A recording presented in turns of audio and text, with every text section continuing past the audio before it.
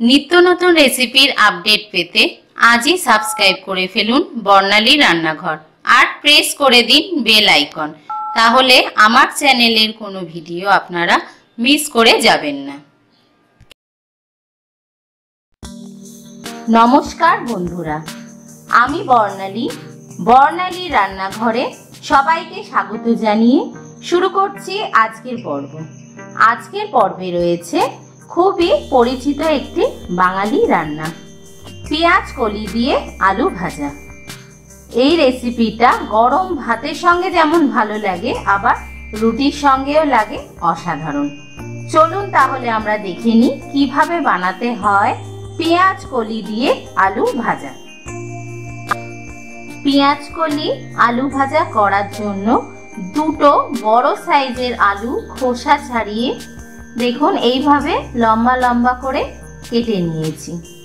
আর চার পাঁচটা পেঁয়াজ বেশ বড় বড় টুকরো করে কেটে নিয়েছি। দুটো চেরা কাঁচা লঙ্কা নিয়েছি।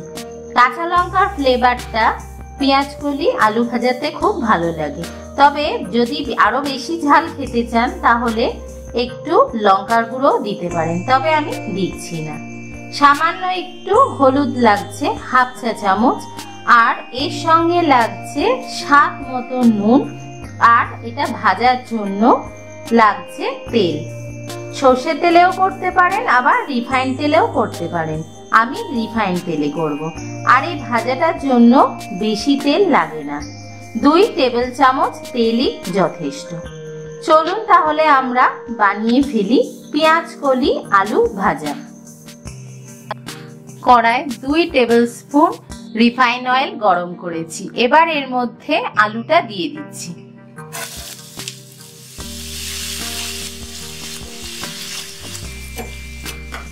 একটু ভালোভাবে নেড়ে দেব। এবার এর মধ্যে স্বাদ অনুযায়ী নুন দিয়ে দেব আর হাফ চা চামচ হলুদ গুঁড়ো দিয়ে দেব। নুন দিলাম। হলুদ দিয়ে দিলাম।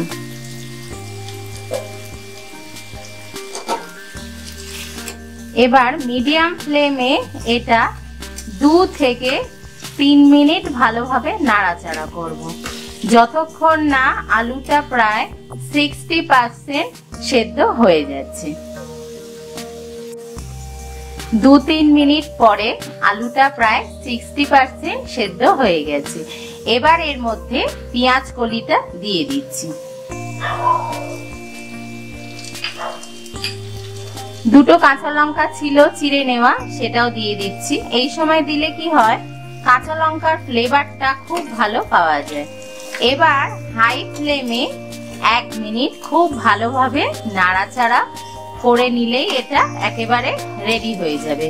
পেঁয়াজ কলি খুব বেশি ফ্রাই করার দরকার হয় না। এর গ্রিন কালারটা থাকবে, সেই রকম ভাবে ভাজা করতে হয়। জাস্ট এক মিনিট এটা হাই ফ্লেমে নাড়াচাড়া করলেও আলুটা যতটা সেদ্ধটা বাকি ছিল, সেটাও হয়ে যাবে। আর পেঁয়াজ কলির খুব সুন্দর একটা ফ্লেভার এর মধ্যে যোগ হয়ে যাবে। এক মিনিট হাই ফ্লেমে এটা ভাজা ভাজা করে নিয়েছি। দেখুন, পেঁয়াজ কলির কালারটা কিন্তু খুব সুন্দর, সবুজই আছে। এবার এটা নামিয়ে সার্ভ করব। তৈরি হয়ে গেল খুবই টেস্টি পেঁয়াজ কলি দিয়ে আলু ভাজা। রেসিপিটি ভালো লাগলে লাইক শেয়ার করতে ভুলবেন না। আর কেমন হয়েছে আমাকে কমেন্ট বক্সে লিখে জানাবেন। দেখা হবে খুবই তাড়াতাড়ি আরও অনেক বেশি ভালো ভালো রান্নার সঙ্গে। ভিডিওটি দেখার জন্য সবাইকে অনেক ধন্যবাদ। বাই